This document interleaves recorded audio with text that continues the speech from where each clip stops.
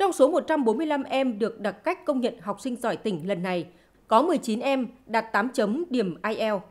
tương đương với giải nhất, 52 em đạt 7.5 điểm IELTS, tương đương với giải nhì, 73 em đạt 7 chấm điểm IELTS, tương đương với giải 3 học sinh giỏi tỉnh môn tiếng Anh.